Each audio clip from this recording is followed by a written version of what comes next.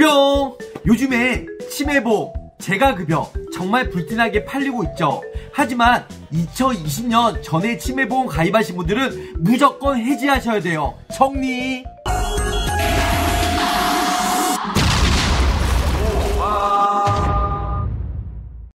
보험을 사랑하고 보험인으로서 보험을 쉽게 알리고자 하는 다같이 보험왕입니다. 구독자님, 미래 구독자님 감사합니다. 자, 치매보험, 재가급여하면 저 보험왕인데요.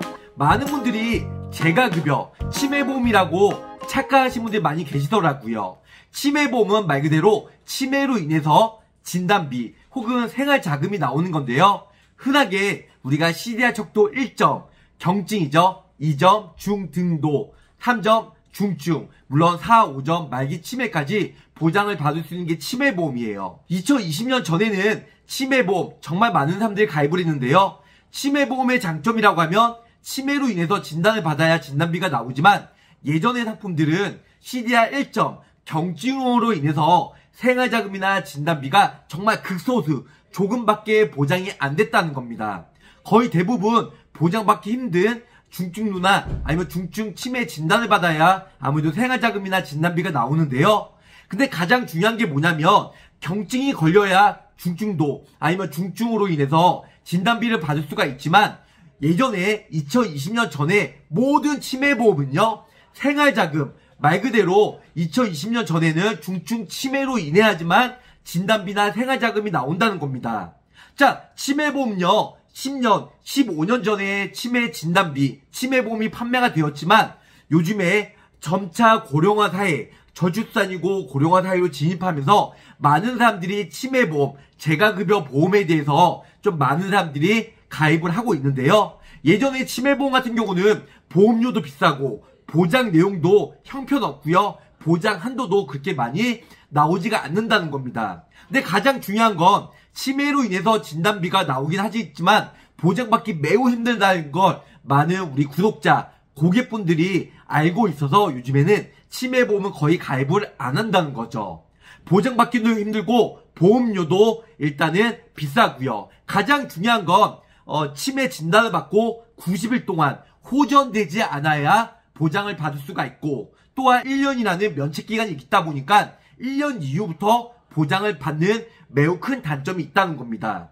자, 일단은 보험회사도 그렇고 우리 구독자, 계약자분들도 시간이 거슬러 올라감에 따라 요즘에는 치매보험보다 치매도 포함이 되는 몸이 불편하신 분들이 누군가의 도움을 필요로 할 때 보장을 받을 수 있는 있을제, 집가, 재가급여나 시설급여를 많이 가입을 한다는 거죠. 자, 일단은 재가급여의 큰 장점은 뭐냐면요. 고지사항이 심플해요. 고지사항은 머리 쪽만 보기 때문에 뭐 3개월 이내, 5년 이내, 또한 5년 이내 얼핏 보면 3, 5, 5 간편보험 같죠? 머리 쪽만 고지사항에 포함이 된다는 겁니다.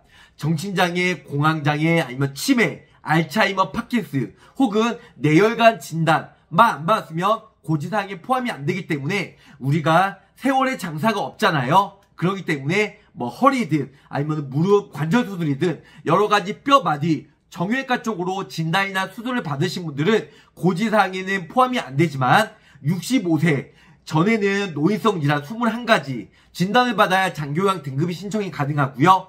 65세 이상 어르신 분들은 남녀노소 누구나 건강보험공단에 장교양 등급 신청이 가능한데요. 제가 서두에 설명드린 대로 뼈마디 정형외과 쪽으로 진단이나 수술 받으신 분들은 우리 장교양 등급 신청하면 거의 4등급이 나오는데요. 우리 재가급여 가입할 때는 고지사항에 포함이 안 되고 또한 장교양 등급 신청할 때는 정형외과 쪽으로 진단 받으신 분들은 4등급이 나오기 때문에 장기적으로 매월 생활자금 50만원, 많게는 90만원까지 뭐 10년 확정 혹은 상품마다 다르긴 한데요.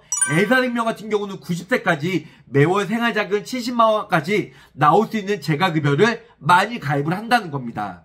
자, 기존에 치매보험 가입하신 분들 정말 죄송합니다. 하지만 뭐 저축식으로 나중에 20년 후에 100% 이상 환급을 받을 수 있다고 해도 유지하는 것보다는 부분적으로 감액 정리를 하던가 아싸리 그냥 큰맘 먹고 해지 정리한 다음에 재가급여 보험으로 가입하시면 매월 생활자금이 90세까지 50만원, 70만원 나이마다 상이할 수가 있겠지만 70만원까지 90세까지 보장을 받으시고 또 그 이후에는 이 재가급여가 필요가 없다. 그런 분들은 가입한 이후에 20년 이후에 정리를 하셔도 거의 납입한 보험료 이상 환급을 받을 수가 있기 때문에 일석이조 특히 보장과 저축을 동시에 받을 수가 있다는 겁니다.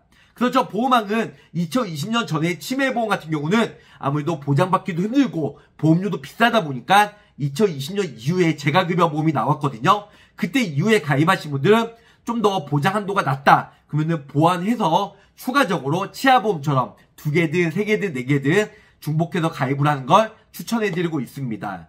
자, 장교양 등급은 일단은 국가에서 정한 거기 때문에 어떤 분들은 그래요. 장교양 등급 받기 쉬워요? 어려워요? 하지만 저 보험왕은 뭐 장교양 심사평가단도 아니고 정확하게 하지만 일단은 저희 구독자 시청자분들 특히 저한테 계약하신 분들 작년에 재가급여 보험 가입하고 한 달 만에 거의 장교양 등급 4등급을 받아서 매월 생활자금 50만원 70만원씩 받으신 분들이 있기 때문에 저 보험왕 장교양 등급 생각보다 그리 어렵지 않구나 기존에 디스크 진단 수술 받으신 분들이 많이 4등급을 받긴 하더라고요. 그래서 재가급여 보험, 저 보험왕도 저희 아버지 어머니 가입을 시켜드렸거든요.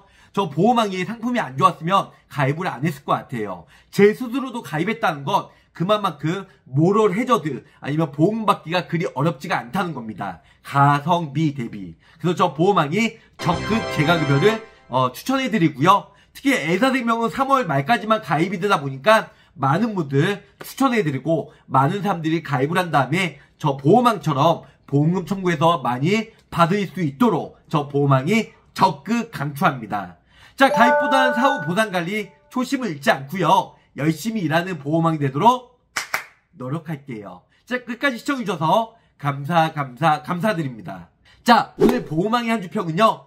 몸이 아프시고 노후 대비 안 하신 분들은 제가 급여 네 글자가 정답이다. 정답이에요. 제가 급여.